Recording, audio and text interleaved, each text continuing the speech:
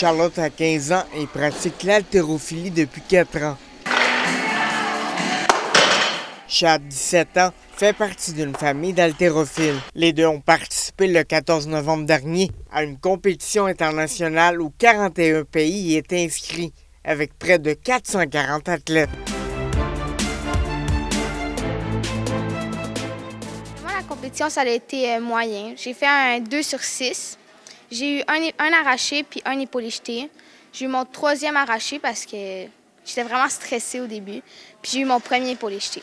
The bronze medalist representing Canada, Shad Darseny. Ça a quand même bien été. J'ai fait un 4 sur 6. que C'est sûr que c'est pas une note parfaite, mais vu que j'étais blessé avant la compé, je m'attendais pas mal à faire dans ce résultat-là. là. J'ai eu un traitement euh, comme une semaine avant de lever. Je me suis blessé trois semaines avant. Pendant deux semaines, j'ai été comme un peu arrêté à faire plus de la muscu que de l'altéro.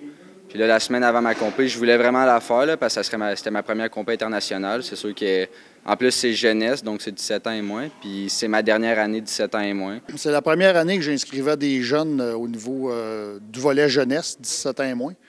C'est pas la première année que ça se produit, mais pour, pour Machine Rouge, c'est la première fois qu'on avait des jeunes en action là, à cette compétition-là. Les haltérophiles ont dû, en raison de la pandémie, faire leur compétition de manière virtuelle. C'était autant stressant. Je- On dirait que la caméra en avant de moi m'a stressé beaucoup. Mais sinon, euh, je pense que ça a pu ôter un peu de stress parce qu'il y avait moins de monde dans la salle. Moi, je trouve que ça en a enlevé beaucoup du stress. Parce que contrairement à une compé, tu sais, là, j'ai compétitionné à l'endroit où je m'entraîne à chaque jour. C'est sûr que c'est comme un peu un entraînement que je venais faire ici, sauf qu'avec une caméra en avant de Le moi. déroulement de la compétition était complètement différent du déroulement normal. C'est-à-dire que chaque leveur faisait. Normalement, une compétition se déroule, ils font tout l'arracher ensemble. Les trois essais peuvent être consécutifs sur un même athlète. La charge est toujours en progression. Par contre, cette compétition-là, il y avait. euh, tous les athlètes faisaient le premier essai. Ensuite, on redescendait la charge, puis on recommençait le deuxième essai, et ainsi de suite, comme pour l'arracher et pour l'épaule jeté. Fait que le déroulement se faisait très, très rapidement. La compétition s'est faite environ, pour une dizaine d'athlètes, à peu près en 45 minutes, une heure. Une compétition normale, ça prend à peu près une heure et demie normalement. J'ai une compétition euh, mi-décembre. Ça, ça va être 15 ans et moins. Fait que je vais avoir un petit peu plus de chances de me classer. Puis après, ben, je sais pas, ça va dépendre euh, du COVID.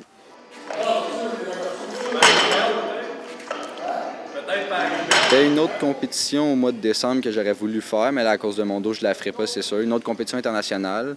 Là, la prochaine compétition, ça risque d'être les championnats canadiens juniors, s'ils ont lieu.